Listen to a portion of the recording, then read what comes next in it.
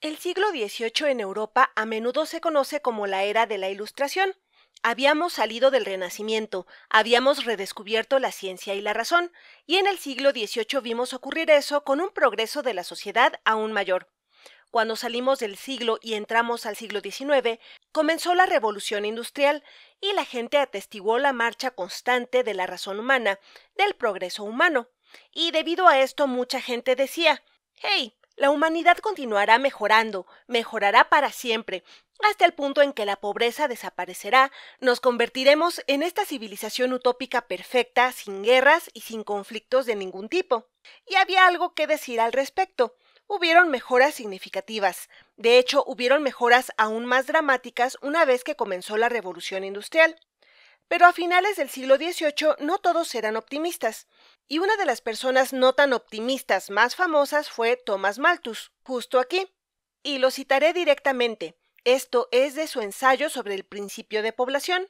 El poder de la población es tan superior al poder que tiene la Tierra para producir el sustento del hombre que la muerte prematura, de una forma u otra, debe llegar a la raza humana. Los vicios de la humanidad son agentes activos y capaces de despoblación son los precursores del gran ejército de destrucción, y a menudo terminan ellos mismos este terrible trabajo.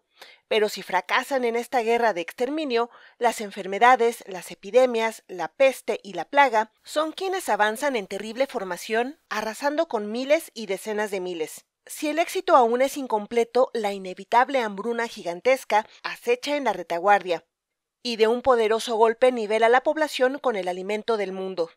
Así que no es tan alentadora esta pequeña cita, pero esta era su sensación general.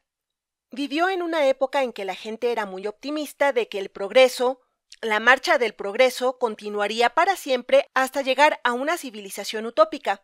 Pero desde su punto de vista, Thomas Malthus pensó que si las personas pudieran reproducirse y aumentar la población, lo harían, y que no había forma de detenerlos, desde la forma en que lo vio.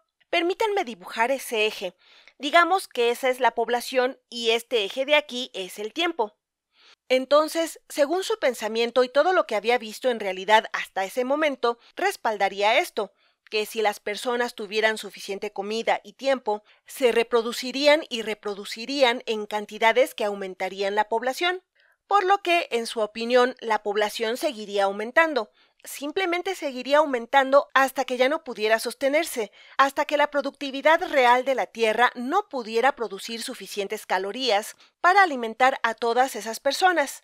Él pensaba que habría un límite superior natural con base en la cantidad real de alimentos que la Tierra puede generar. Entonces, digamos que, permítanme usar un color diferente, que él pensaba que había un límite superior, y una vez que se llegara a ese límite superior, de repente, los vicios de la humanidad surgirían.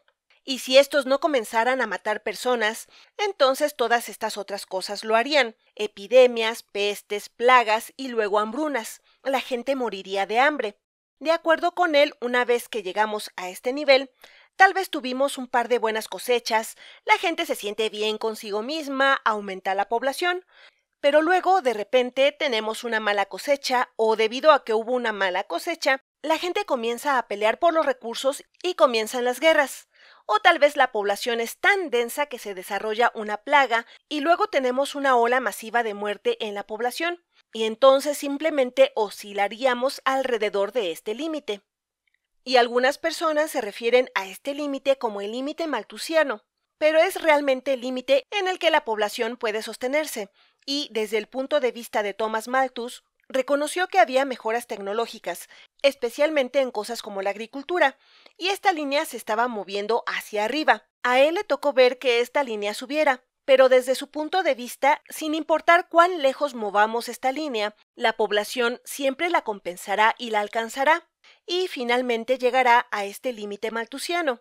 Y entonces esas mismas cosas no tan positivas de las que habla sucederían realmente. Y algunas personas ahora dicen, oh, Thomas Malthus, él era tan pesimista, obviamente estaba equivocado. Mira lo que pasó. Tenemos mucha comida en el planeta en este momento, hemos pasado por múltiples revoluciones agrícolas. Y tienen razón, en los últimos 200 años desde Malthus, desde principios de 1800, realmente hemos podido aventajar al crecimiento de la población. Entonces, esta línea de aquí se ha movido hacia arriba mucho más rápido incluso que la población. Así que en este momento en realidad tenemos más calorías por persona en el planeta de las que hemos tenido en cualquier momento de la historia. Pero no estamos diciendo que Thomas Malthus estaba equivocado, solo estamos diciendo que tal vez solo era un poco pesimista acerca de cuándo se alcanzaría ese límite. Ahora, el otro aspecto en el que se podría decir que tal vez estaba equivocado fue este principio de que una población aumentaría si puede aumentar.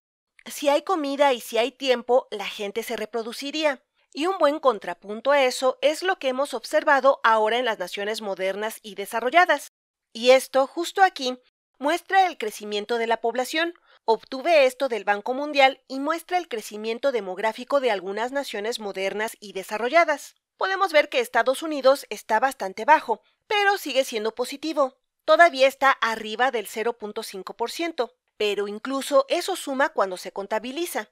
Pero si vemos aquí Japón y Alemania, ambos tienen menos inmigración que los Estados Unidos, especialmente Japón, en realidad son negativos. Entonces, esta población cerrada, especialmente si tenemos en cuenta que las personas no cruzan las fronteras, solo la población en sí misma crece, en realidad tienen un crecimiento negativo.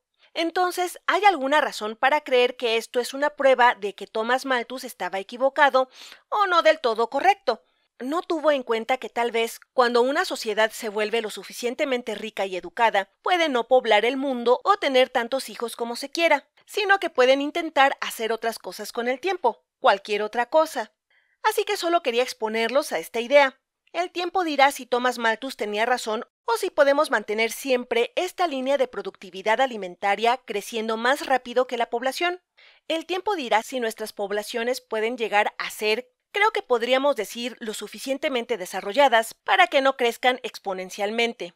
Tal vez se conviertan en una población como la de Japón o Alemania, y la población mundial, especialmente si tenemos una alta tasa de alfabetización, finalmente se estabilice y nunca tenga la posibilidad de alcanzar ese límite maltusiano.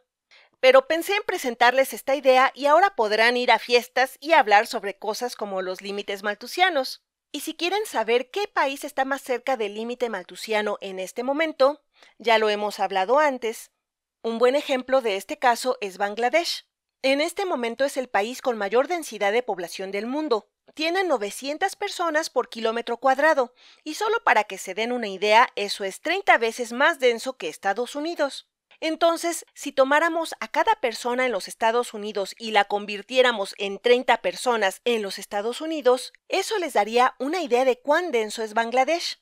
Y probablemente se deba, en cierta medida, a que es una tierra muy fértil. El delta del río Ganges constituye esencialmente todo el país. Pero ellos han tenido hambrunas en el pasado, lo han superado un poco, pero siguen teniendo grandes problemas con las inundaciones y los recursos. Esperemos que puedan mantenerse por arriba de la curva.